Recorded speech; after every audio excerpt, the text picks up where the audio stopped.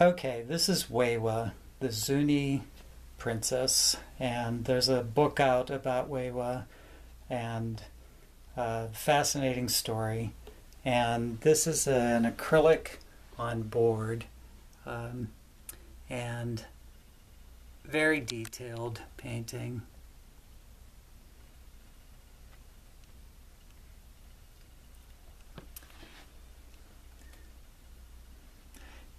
I highly recommend the book. It's um, really great story.